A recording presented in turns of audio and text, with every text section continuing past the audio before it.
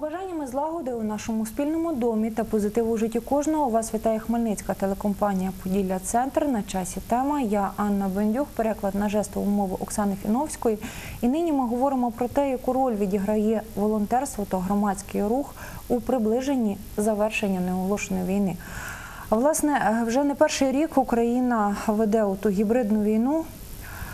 І е, вперше цього року Україна відзначає День захисника України як державне свято е, у день свята Пресвятої Покрова Пресвятої Богородиці.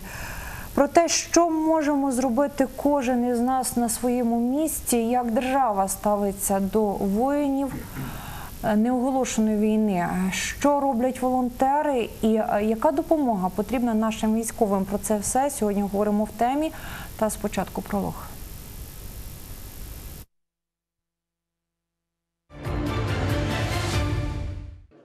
Без п'яти хвилин пенсіонер Анатолій Фатієв на фронті з перших днів. Під Мар'їнкою він втратив обидві ноги, та не втратив жаги до життя і почуття гумору. Ним намагається зарядити й інших. Я став е, більш життєрадісний, більш жизнелюбний, більш розкутий. Е, Я кожного дня дякую Богу. Я от коли очнулся, потім більш-менш в себе прийшов після реанімації. то есть Я, я понял, как прекрасен этот мир. Это пока заново не родишься, этого не понимаешь. Ще один герой проекту В'ячеслав Буйновський до Хмельницького приїхав за кермом авто. Та мало хто здогадується, що у чоловіка замість руки і ноги протези. Мы не такие уже и особенные, не, не- не сильно отличаемся. Проект, проект как таковой нужен для того, чтобы показать, что мы можем все то же самое, что и остальные. Якби можна було відмотати час назад, Михайло Ващенко все одно пішов би на фронт. Те, що залишився без ноги, не біда, каже чоловік. Бо в інших є поранення й серйозніші. Для нього участь у проєкті – ще одна нагода підтримати побратимів. Я не имею права волновать. Если я вот, допустим, считаю, что каким-то чудным образом я выбрался с того места, когда я уже сам для себя принял решение, что уже все, закат трудовой деятельности, я думаю, я уже не имею права тогда уже как-то назад. Ни шагу назад, как говорится, только вперед. Ну и как бы если я помогу ребятам, там, ну там, знаете, там говорят, там разговоры, беседы, психологи, реабилитация, все это хорошо, но не в этом случае. Ініціатори проекту намагалися показати героїв АТО справжніми.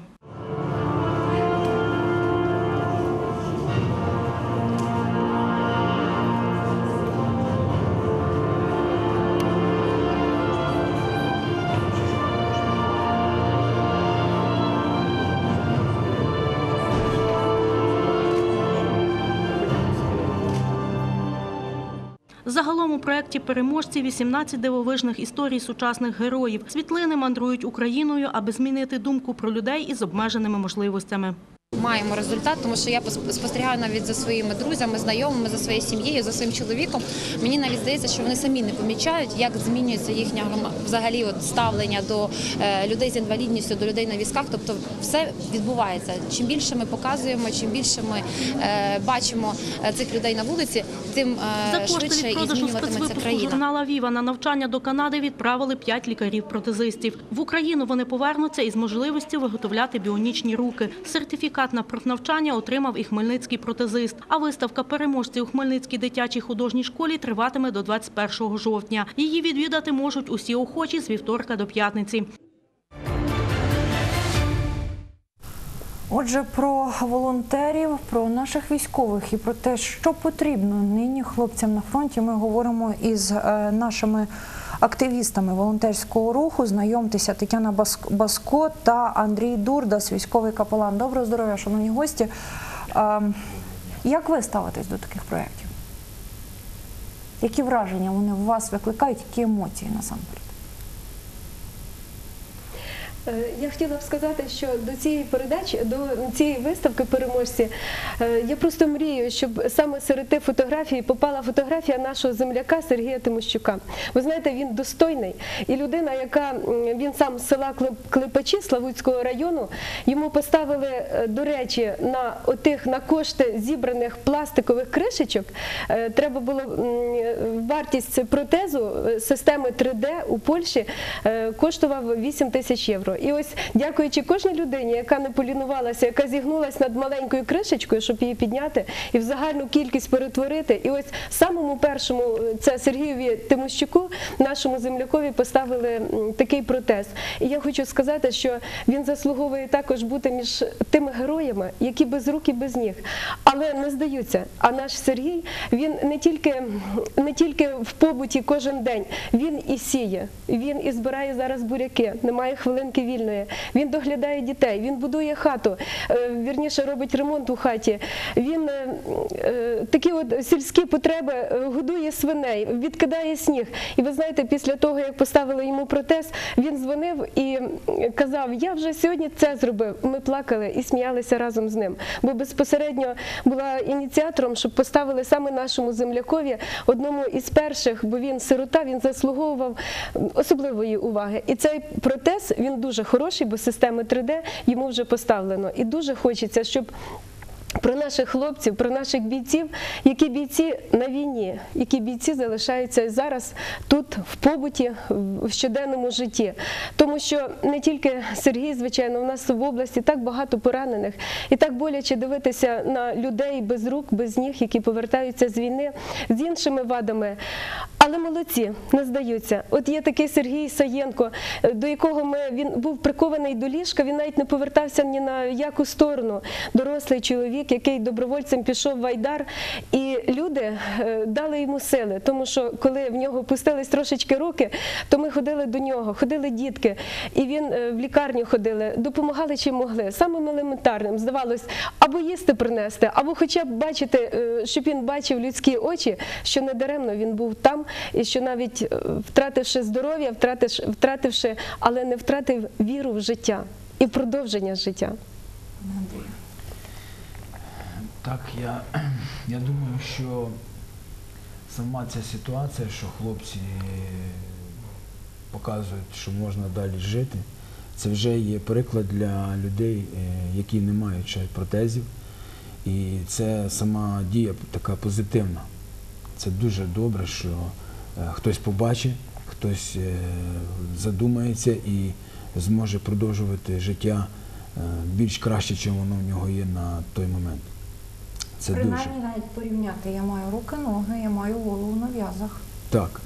Е, Дійсно було б краще, щоб е, кожен, хто втратив кінцівку, втратив, е, отримав якусь травму, мог, е, міг би прийти і отримати ту чи другу е, допомогу без якихось е, шукання на це е, коштів, а дійсно від держави, яку захищають зараз. Оце було б краще. Но сама моя точка зору на те, що відбувається, це дуже добрий такий позитив для людей, які не втрачають надію. Скажіть, будь ласка, чи можемо ми говорити, що от той, та хвиля волонтерства це по суті прояв громадянського суспільства і відгук на ту ситуацію, яка склалася в нашій державі? Це відгук на вимогу часу. Так, я думаю, це, це даже, знаєте, це був, напевно, і є це, напевно, від душі йде, від людей, заради того, щоб щось змінити, заради того, щоб допомогти хлопцям. Бо ми розуміємо, що ми перший раз це проходимо, і в державі, ну, на жаль, нема е, всього того, що потрібно. На жаль. Але коли люди самі акумулюються, це зближає, по-перше, нас самих, і ми віддаємо туди своє серце, ми їм допомагаємо і матеріально, і духовно. Це виклик часу, так. Це Скажіть, будь ласка, сьогодні вже не перший рік воюємо. Ем, Яку нині роль відіграє держава а яку все-таки волонтери, громадські активісти у забезпеченні армії? Як зараз це відбувається? Чи стало менше потреб у військових? Чи ні? Ну, найперше, це великий зв'язок між громадськ... е, між людьми і нашими бійцями. Звичайно, ми як посередники волонтери. А хто волонтери? Нас назвав сам час. Це люди небайдужі, які не могли залишитись осторонь, коли в країні біда. І це я вважаю, що це моя мій маленький вклад е, в перемогу. І дуже хочу, щоб була швидко перемога, і дуже хочу, щоб був мир в Україні. А просто сидіти чекати, це звичайно, як багато наших громадян е, не можуть. Е, позитивна е, активна позиція кожної людини це звичайно прискорення миру. І я безмежно вдячна нашим людям, хоча нам не просто зараз живеться, і з кожним часом важче і важче матеріально, але в той же час ми знаємо, що ми не залишимо наших хлопців, як би б не було. І тому, от навіть ми, працюючи в е, наш координаційний центр, можна сказати, в дитячому світі в місті Хмельницькому, і люди приходять в'язати маскувальні сітки стільки часу, чи маскувальні костюми кікімори для наших е, снайперів, розвідників. Вони приходять як на роботу. Робимо подушечки, шиємо труси, шиємо білі костюми на зиму, шиємо, робимо різні сувеніри, але мало того, то ще робимо дуже багато домашніх страв, які готуємо, які передаємо постійно хлопцям. І е, наші захисники, тим більше, що ми передаємо, спілкуємося напряму з ними. Вони приїжджають сюди до нас. Це зустрічі ну незабутні. Знаю, вчора мали спілкування з одним хлопцем і хлопцем, який повернувся. Слава Богу, живий і здоровий. Так, і ви знаєте, да, це і сльози радості. Це ми об'єднуємося, і бачимо, що ми одне ціле. І тому я безмежно вдячна людям, як таким людям, от як Наталя Давидівна, вона в Гречанах живе. Вона ранком дзвонить, вона старшого віку жінка, і дзвонить і каже: Таню, я сьогодні за ніч е, зліпила 450 пельмень, бо ми ще й в госпіталь ходимо і на війну передаємо. Або пироги печуть, або консервацію ми робимо стільки багато, що я просто дивуюся. А з другої сторони горжуся, що це душа українська, отакими справжні українці, щедрі, добрі, навіть не маємо, але знаходимо з нічого, робимо щось і обов'язково біді не залишимо наших бійців, якщо ми знаємо, що ми тут вдома в теплі. В спокої, в мирі, а вони там в бліндажах, в окопах.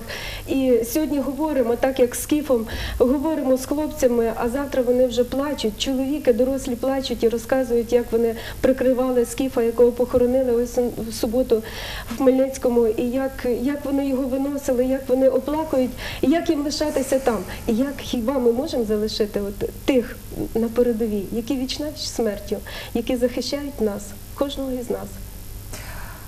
Андрію, е, на вашу думку, яку роль відіграє хто більшу роль відіграє нині? Держава у забезпеченні армії, чи все-таки волонтери, громадські активісти? Чого не вистачає українським військовим фронті? Знаєте, я думаю, що е, з тим, як було на початку, е, картина дуже змінилась в кращу сторону. Якщо б на початку війни не було бронежилетів, не було касок, е, е, бірц, то на сьогоднішнє вже бірці, каски, ну, бірці знашуються, підвозять, в- армія трошки забезпечує. Я можу сказати, що дійсно паливно е, топливо є. Є також бронежилети, є каски. От.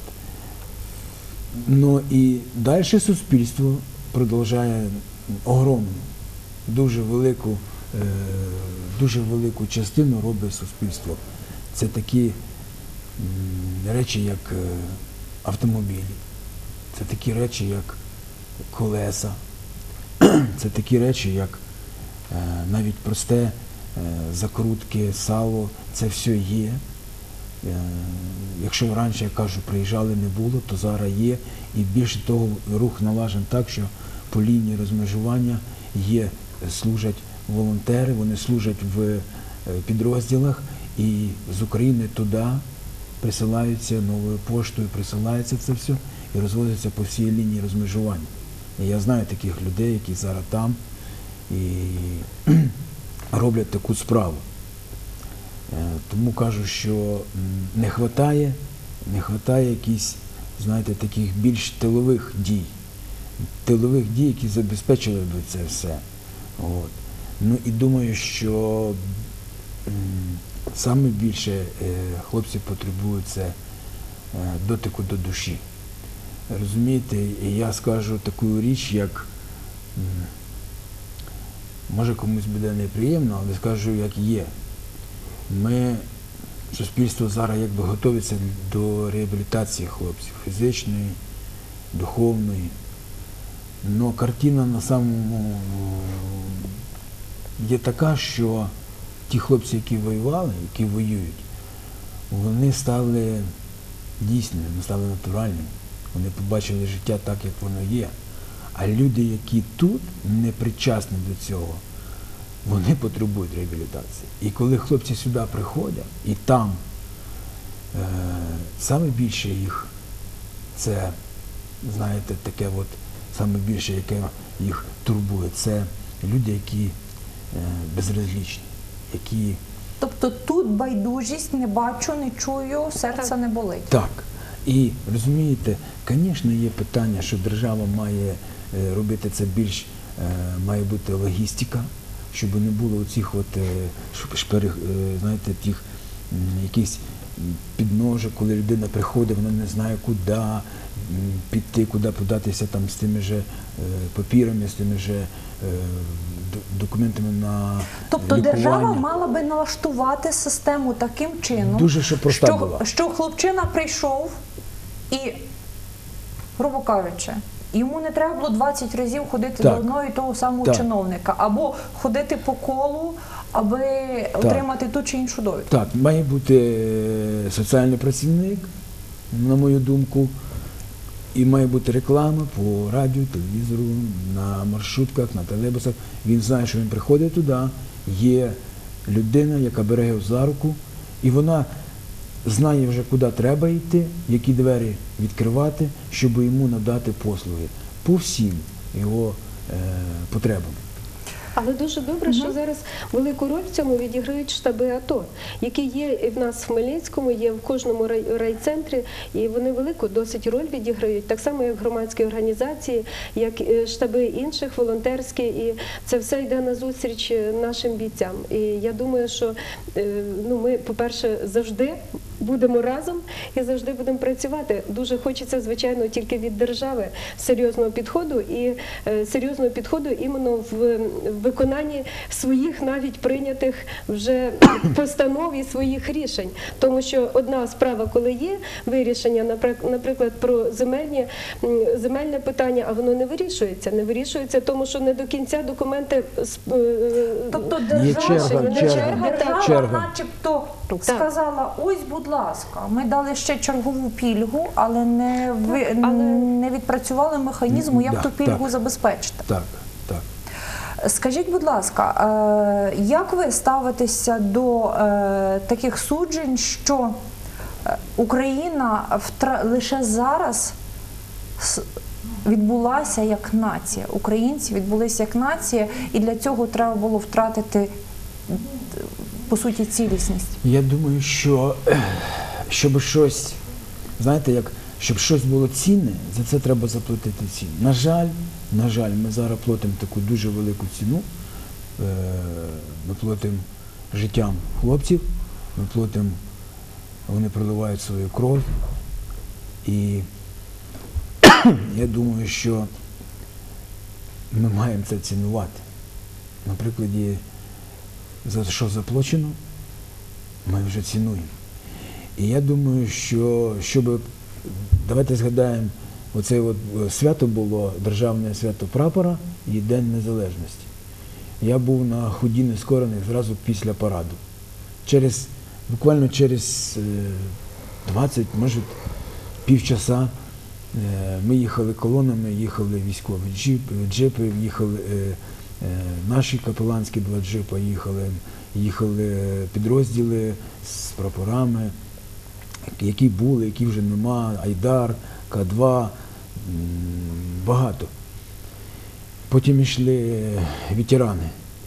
То хочу сказати, що чувствували, знаєте, як цей прапор став рідним. Раніше такого не було. Давайте будемо відвертими, такого не було. От за роки війни прапор став дійсно рідним. Я проїжджав по Зорічанській і побачив, валяється прапор наш на дорозі. Я зупинився, підняв його, відстирав, ну, остались якісь грязні речі на ньому, так, замузані. І цей прапор ми розписали, в церкві дітки розписали, написали ми за вас молимось. І цей прапор я привіз тим хлопцям, які за нього від, від- віддають, як ми бачимо по сюжету, руки, Час, ноги, віддають руки, час, ноги, віддають життя. життя. І знаєте, ми його повіш... ми ночували тоді в Авдіївці, ми його повішали на стіну, ми служили. Це була Пасха на 1 травня. Вони плакали. Ми співали на гітарі, ми молились під гітару, ми молились за них. І вони почули, як мало треба, дотик до душі. Пускати в цю ситуацію Бога, розумієте? Їм легше. Якщо вони почують, що вони потрібні, набагато буде легше. А якщо ні, буде проблема. Скажіть, будь ласка, психологічна адаптація, коли вона має відбуватися? На етапі відбору людей, чоловіків, які йдуть служити, під час вже безпосередньо в тих підрозділах, чи після? Я думаю, повне коло цього має починатися вже з е, е, відбіру е, документів. Співробітники воєнкоматів вони бачать, кого беруть. Є Чи відбувається формальність? Е, Я думаю, так, тому що, знаєте, який є матеріал, з того будують. Ну, от є в нас зараз такий. Багато хто побачив, що війна має обличчя крові, обличчя смерті, е, хтось е, повтікав, хтось попрятався. Я розумію цих людей. І опять же, возвращаєтесь до того, що не всі повинні, може би, і воювати. Зараз люди вже йдуть на контракт. Але я думаю, що всі повинні якось участвувати в цьому. По мірі того, що можна зробити. Починається все з воєнкомату, звісно. Потім в підрозділах, потім вже вдома. І особисто, я думаю, має надаватися якась е, духовна підтримка сім'ям загиблих. загиблих. Ми маємо загиблих в місті, ми маємо по підрозділах загиблих. Понятно, що кошти видаються там, є определена сума, яка віддається на. Ну, я думаю, цього мало. Якесь вітання з святом, якийсь е, дотик до, до, сам- до самих людей. Вони розуміють, що, знаєте, в якому вони стані? Вони розуміють, що їм держава е, должна. Є якийсь борг, і вона повинна віддати. Е, Мала спілкування з однією з, е, з однією матір'ю загиблого хлопця, з яким, по суті, я виросла разом. Вона сказала, що от так, мені гроші дали. Я їх розділила між внуками, дітьми, невіст, невіст, невісткою, там, всім в рівних долях. Але чи хто спитав, прийшов мене, як я тут живу, як мені щоночі бачити у сні свого сина? Скажіть, будь ласка, е, пані Тетяно, як часто вам доводиться виконувати того психолога і е, тієї людини, яка приносить ту страшну звістку? На жаль, так. Це дуже важко, коли дзвонять бійці, повідомляють про своїх загиблих. Це дуже важко. А потім, коли казати навіть тим чи дружинам, чи спілкуватися з ними, і це складно. Але в той же час це повинен хтось робити. На все Божа воля. Так, я прийняла рішення, але знаю точно, що ціна миру це сльози наших вдів, це сльози і втрата, і розпач дітей. ем, Сиріт, які залишилися, це чорна хустина матері, яка із часом зніме з голови, але з серця ніколи не зніме. І мені просто хочеться бути, сказати, користуючись нагодою, що Боже, люди, не будьмо байдужими, не будьмо байдужими, бо я знаю точно, що це так важливо сказати хоча добре слово. Підставити плече, що не одна вдова плакала на моєму плечеві плечі.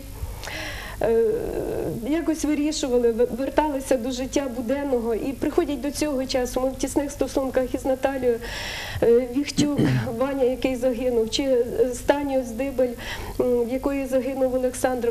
В них дітки всього-навсього малесенькі. Ось е, Саші Тані Здибель. Ой, не Саші, а Жені. Тільки два роки немає. Він малюсінький. Два, ро- два місяці було, як загинув вже татко. І він ніколи його не бачив, він ніколи не, не згадає, вже, вже, яким був живий татко. А він герой із героїв. І ось зараз хочеться сказати, що мало того, щоб ми і спілкувалися з ними, зустрічалися і з бійцями, і з вдовами, щоб проводили заходи. Це обов'язково треба. Але мені ще так хочеться сказати, що і телебачення, і радіо, і засоби масової інформації інші повинні обов'язково більше розповідати про наших героїв. Настільки є люди, якими можна захоплюватися, якими дивуюся їхніх подвигах, їхньому життю і до війни, і на війні, і вже після війни. Тобто треба розказувати. Тобто військово-патріотичне виховання, Так. ось воно починається звідси, тому що оті всі недоліки на сході України це все виховання Тобто ми можемо сказати, що те, що відбулося там, це по суті ота величезна прогалина патріотичного виховання, якому Так. не приділяли Однозначно. уваги Так, час нашого. я хочу додати, пані Аня, е, тому що зараз на сході зараз е, капелани роблять велику справу. Вони йдуть по школам. От капелани з, е, не з тої частини, та я хоча я знаю капеланів з Слов'янська, я знаю. От. Я знаю капеланів, які сидять з хлопцями там на більш часу в них є, вони там сидять. Я знаю, які вони приїжджають по тому ж Лісичанськ, Сєвєродонецьк, вони йдуть по школам, вони йдуть в інтернати, вони при, прививають людям українське. Вони читають вірші на українській, вони е, кажуть е, рідна ненька, вони вже при це діло їм вже прививають, розумієте? І це правильно.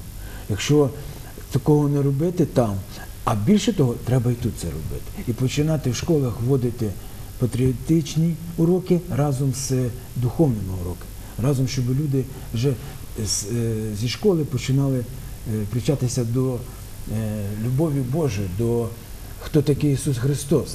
Розумієте? Бо, на жаль, на жаль, це Тобто відсутність духовності, відсутність патріотичного виховання, Так. відсутність отої, отієї культури, яка закладена була, скажімо, нашими предками, тої мудрості життєвої, от вона приводить до таких Так, наслідків.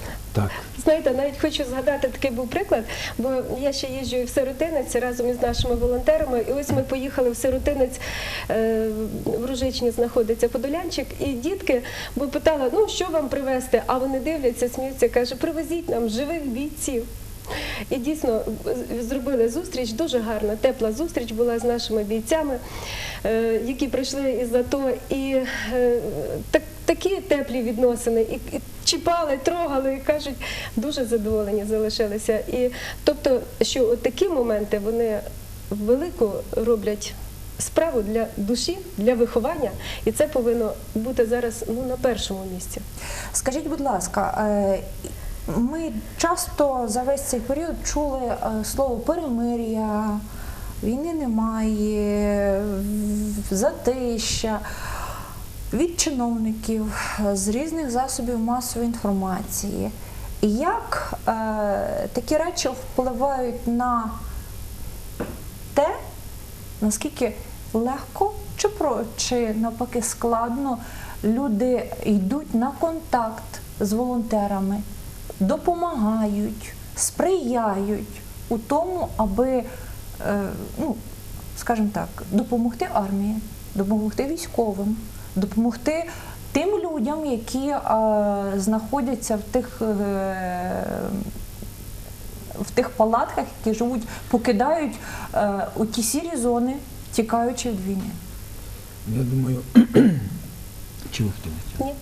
Я думаю, що е, дійсно, знаєте, люди дивляться, що по телебаченню, по радіо перемір'я. Я вчора зазванювався з капеланами з Маріуполя, з якими ми, коли приїжджаємо туди, ми їздимо з мужем. в Широкино. І стрільба не прекращається і більш того стіжово.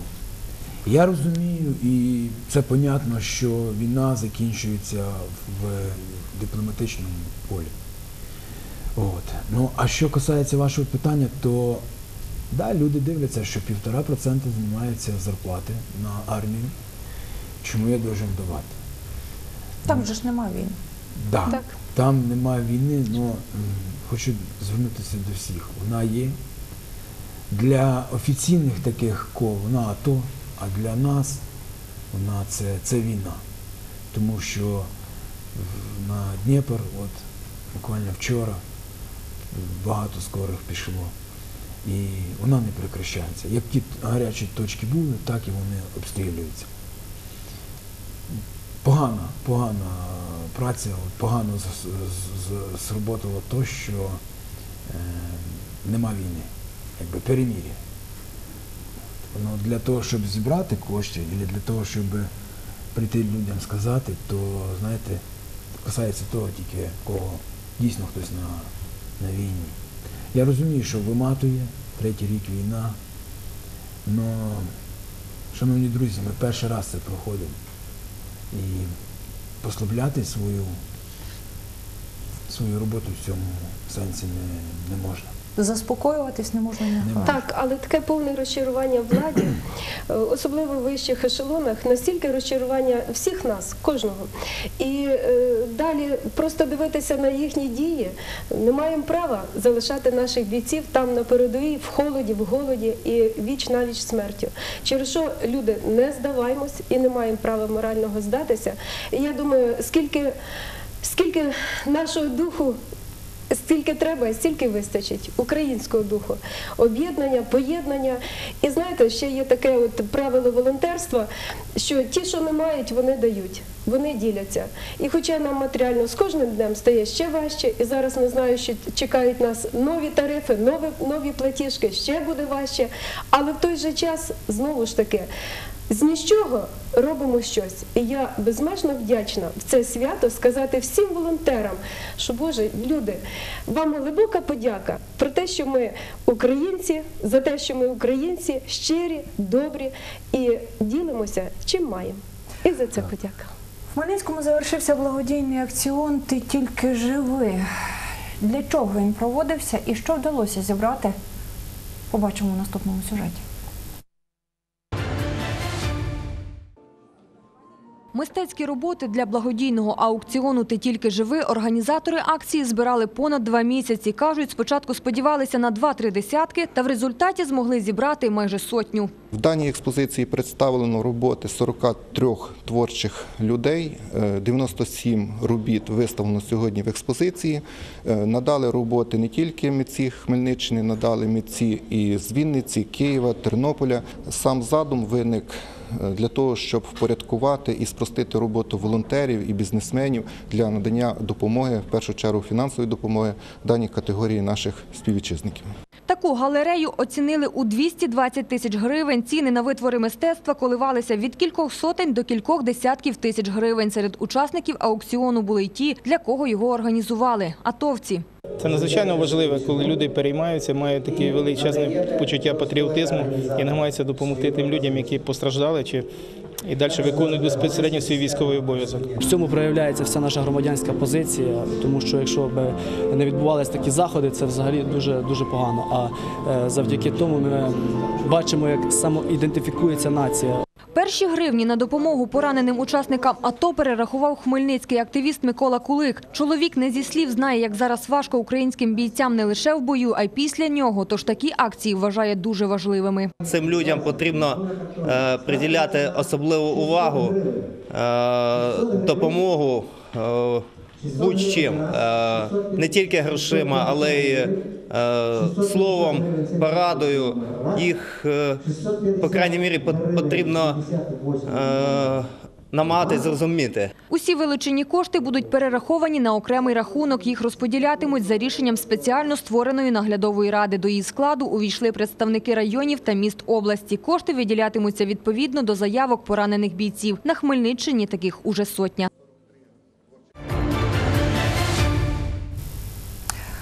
Скажіть, будь ласка, ви спілкуєтеся часто з е, практично постійно останній період з е, хлопцями, з їхніми родинами насамперед.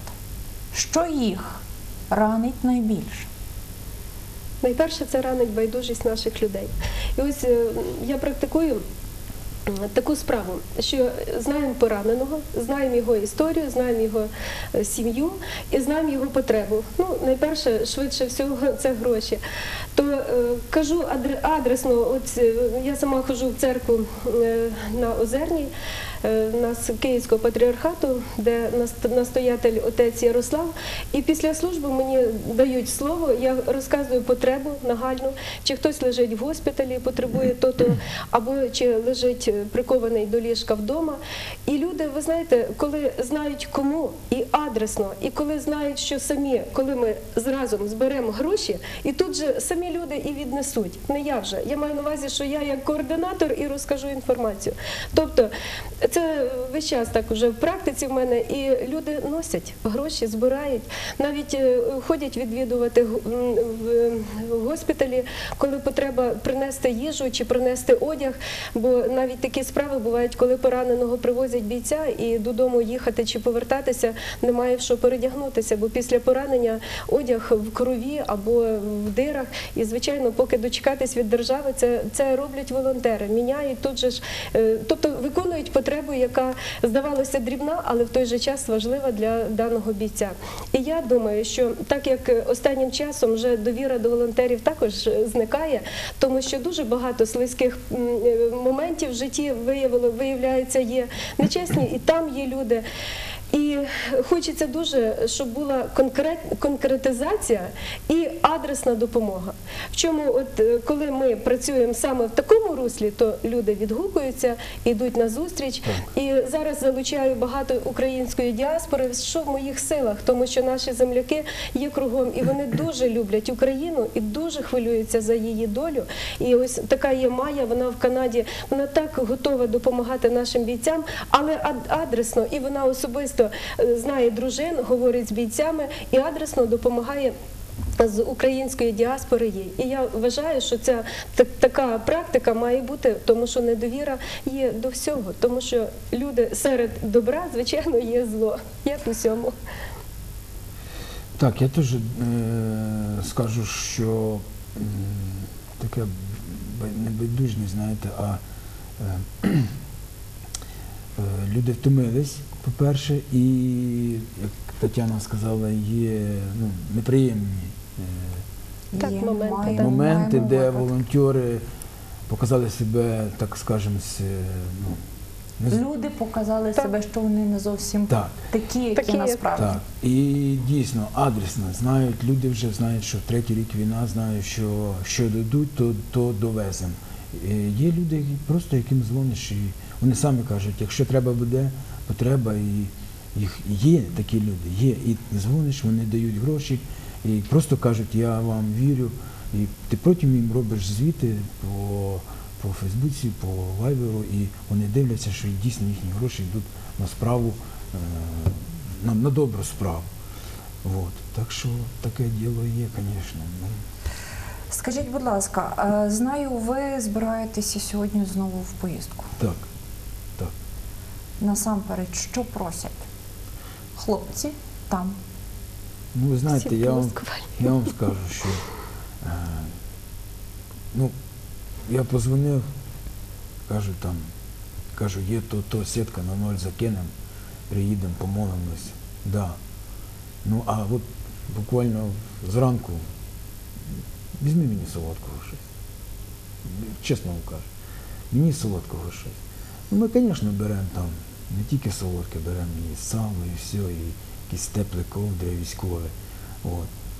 Бо ми розуміємо, що речі мають е, таку, вони зношуються. Властивість Да, зношуватись, воно знош- так. І там не, якщо я бачив, хлопці навіть в Кримському були, придумали собі стиральну машинку, навіть там в селі.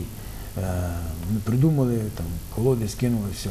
А є, де нема такого, ну нема. І, і помитися нема, і все. Зараз е, болото, зима, ну, на носу зима, зараз таке, то я вам скажу, що саме більше це до них дотик до душі, що вони комусь нужні, розумієте? Якщо б ще більше було з, з боку держави, за яку хлопці воюють, то е, я вам скажу, вони б сиділи б і не уходили звідти, бо вони знали, що вони потрібні державі. Звісно, ми чуємо такі речі, як за кого, за кого ми воюємо, вони собі там в кабінетах е, і тому подібне. Але ми воюємо не за кабінети і не за, там, е, за когось е, там, міністра оборони чи начальника Генерального штабу, чи ще президента. Ні, ми воюємо за свої сім'ї. Тобто е, українці знову, українські військові знову воюють за свою рідну землю. Так. само, якщо ми Так. говоримо свого часу, Друга світова війна, так. вона начебто була за вождів, Так. але разом з тим кожен землю. воював за свою рідну землю. І зараз хлопці так само воюють за свою рідну землю. Так, так, і вони це розуміють. Скажіть, будь ласка, а чи налагоджена е, система психологічної допомоги на рівні, чи, скажімо там, з одного боку по військовій лінії, з іншого боку, ота система психологічної допомоги родинам тут? Чи є вона, чи працює вона, чи це маємо знову ж лише формальність, а чи залежить все чи то від керівника тієї соціальної служби, якщо на місці, чи від того самого командира військового? Розумієте, на місці, ну я вам скажу про себе, як, як, це, роб, ну, як це роблю е, я. У мене є контакти з хлопцями, вони поприїжджали додому.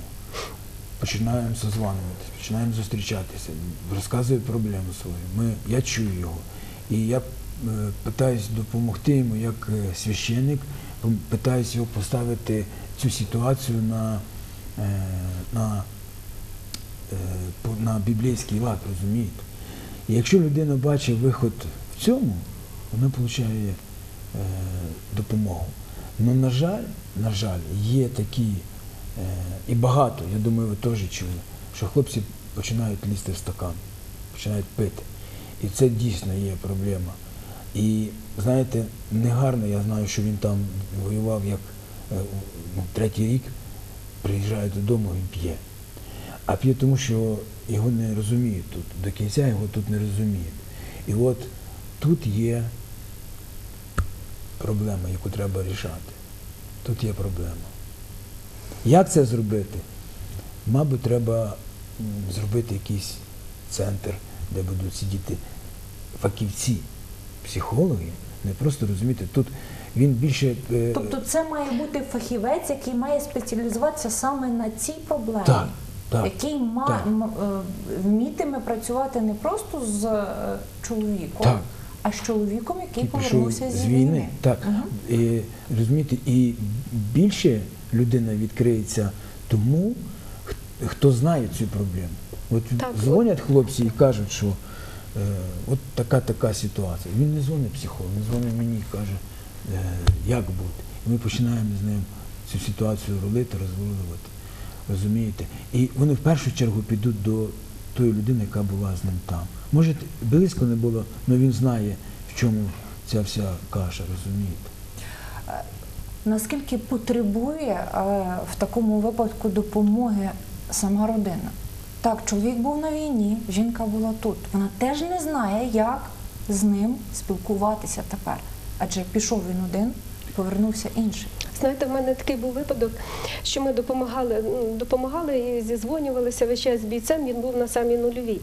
І тут приходить його мама і каже: Таню, приїхав мій Андрій, і такий щасливий, повернувся додому, каже, але вийшов на вулицю, а потім вернувся додому, закрився, замкнувся в собі. І каже: Мама, я хотів піти в дитячий світ, подякувати дівчатам, е, жінкам. І каже, не можу, не можу, бо вийшов на вулицю, тут виявляється зовсім інше життя, де був я, і яку я бачив війну, і де втратив своїх найкращих друзів. Е, Дуже, дуже складно проходити адапта- адаптацію до психологів, коли вони йдуть. І так само повертаються, буває таких вже немало випадків, приходять і кажуть, Таня, а про що нам говорити? Вони там не були, вони не знають, вони не ті питання задають. Їм легше зустрітися і зрозуміти один одного з тими бійцями, з якими вони, якими дійсно, от як е, отець е, сказав, що правильно, ті, що вони на війні, вони розуміють. Вони можуть не говорити на цю тему, але вони розуміють по, по очах, вони розуміють по тих діях. що пережилося. І тому це, звичайно, треба час. Це треба терпіння, це треба любов. Я Це доб- те, що головне зігріє. Я І, доб- звичайно, Божа воля. Я добавлю, вибачаюсь, Тетяна. Ми проходимо це перший раз. Е, Якщо взяти на- на досвід в'єтнамської війни, 25 років, 25 років, 15 років жорсткого, 10 років вже більш щадящого, людина відходила після війни. Так. Що робиться е, в таких, якщо взяти Америку, взяти от В'єтнам, вони після військових дій, якщо людина приходить, він додому не, Не попадає. Він Так. Приїжджає в центр адаптації, їм займаються там військові психологи, капелани, які були на війні, і потім вже потихеньку, через місяця два-три, е, жінку туди приводять, тому що якщо зразу кинути, як то кажуть, з корабля на бал, починаються ссори, починається горілка і так далі, і наркотики, і так далі, і так далі. Тобто е, людина далі продовжує жити на війні, Так. хоча Ще вона вдома. Хто вже в цивільному Так. житті, хоча вона Так. вже вдома. Так. Він знав, що він там нужен. Так. Зараз тут він е, Там все просто і ясно. Да. Свій, чужий. Да. Так. Тут ворог, а Так. тут наші. Свої друзі. І тому приходять сюди і дуже багато випадків, коли хлопці знову рвуться назад, туди в котел війни, але вони рвуться, тому що я там потрібен, мене Так. там розуміють, Так. і там я знаю, що я роблю. А тут от приходять і ці питання нашого життя, і тут настільки. Корупція, і е, ми знаємо, що робиться тут навколо. Ми живемо, ми вже звикаємо, наче, хоча боляче. А їм це так важко дивитися. І вони, психіка їхня, їхня не завжди витримує, і це зрозуміло. Хтось, Тобто хтось більше так, Так. хтось може, стійкіший, да, так? так, так. А Ну, хтось ні, е, дає слабинку і пішов і поїхав. Тобто, по суті, від держави треба налагодити ту систему допомоги тут.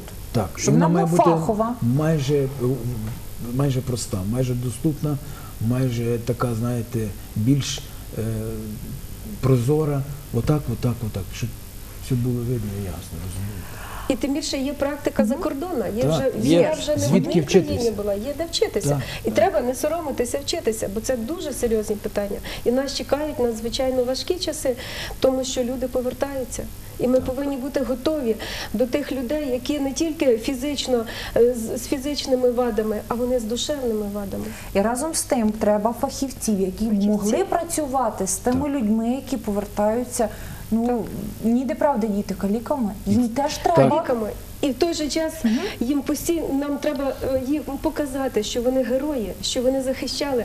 Ви знаєте, коли приходять бійці, коли організовую буває зустрічі в школах, і вони кажуть, ні, ми не підемо, я не піду, я розчарований в усьому в нашому житті. За що я був, за що я здоров'я своє втратив. Але коли приходить до дітей. Буває, плаче спочатку. От є такий кіборг, папа, і він плакав, я його запихала, він плакав. Кажу, іди. Він пішов. Він побув там, він, його душу зігріли діти. І він каже: тепер я знаю, за кого я був. Я, я не шкодую жодного дня, що я там був, втратив своє здоров'я, пережив смерті своїх друзів. Мене Бог спас, і я знаю для чого, за кого? За цих маленьких дітей, за нашу надію нашої нації. Ці Так, е, це- рисуночки, всі, як вони Та малюнки, вдохновляють. е, Подаруночки, вони так це люблять. Всі стіни на всі от, окопах, де, де живуть, там все воно розвішується постійно і починається ранок з того, що вони це бачать, воно їх надихає. Скажіть, будь ласка, е, разом з тим, справді хлопцям потрібна допомога там. Ви працюєте як волонтер. Ваше служіння це ваш вибір, ваша лепта в служінні Богові. А на рівні держави. Чи відбулося те узаконення цих дій, так би мовити, формалізація, можливо, вона теж свого часу, ну, по суті, вона мала би бути. На початку війни, на початку війни е, був і десь є такий указ е, президента, даже, м, Угу. законопроект про капеланську службу. І третій рік війни, і воно от ніяк не може війти в законну силу. Ми, ми, ми Тобто бач- висить в повітрі. Висить, да, висить в повітрі, і ми бачимо потребу в цьому. Ми бачимо, що коли ми дзвонимо, е, ті люди, які знають командира, вони ж як, як були спочатку, до, до, до, до сих пір є. Вони кажуть, приїжджайте, хлопці, приїжджайте, бо у нас є втрати, у нас є то, нам треба ваша підтримка. От. З державного боку дуже мало щось робиться. Ми собі все самі е, покупаємо, форму, каски, бронежилети. От, е, і все, все, все це є. Тобто тримається все на людській волі, на людському бажанні, на людській вірі. Тим більше такий отець е, Андрій знаходиться там по місяцях на передовій, в бліндажах, в окопах разом із хлопцями. Ну, хотілося б більше, але треба щось і тут сім'я, я розумієте, що і працюємо соціальним психологом. От. От так. Сьогодні день Святої Покрови Пресвятої Богородиці. У нас залишається буквально дві хвилини. Я знаю, що ви маєте що сказати і волонтерам, і тим людям, хто нас просто дивиться, хто безпосередньо не дотичний до тієї війни. Але разом з тим ця гібридна війна стосується кожного з нас. Я знаю, що ви хочете привітати людей. Я так скоро, бо зараз Тетяна скаже. Знаєте, я хочу побажати всім нам, всім нам миру. Я хочу поблагодарити всіх, хто допомагає нашому служінню, е, всіх, хто небайдужні. І привітати всіх цим святом Покрова, привітати всіх святом захисника України. Навіть люди громадські стали відчасті захисниками, бо вони тут щось роблять для військових. Всіх святом і допоможе нам Господь Бог. всіх захисників із цим гарним святом. І е, роки війни показали, які в нас чоловіки сильні, мужні, справжні і надійні. За вашими плечима не страшно. І е, вас ми не залишимо ніколи. Ми з вами е, звичайні люди, звичайні українці, але ми з вами, бо ви на передовій, а ми тут з вами будемо в тилу. І дуже прошу матінку Божу, щоб вона своїм невидимим омофором сьогодні накрила нашу неньку Україну, нашого кожного захисника, який там на передовій, в окопах, в холоді, буває в голоді, і кожного нашого пораненого бійця, щоб вона накрила, захистила і зберегла усіх нас як націю, як українців, як Україну. Що ж, дякую вам. Пам'ятаємо, що Україна це ми. Думайте, аналізуйте, робіть висновки. Побачимось.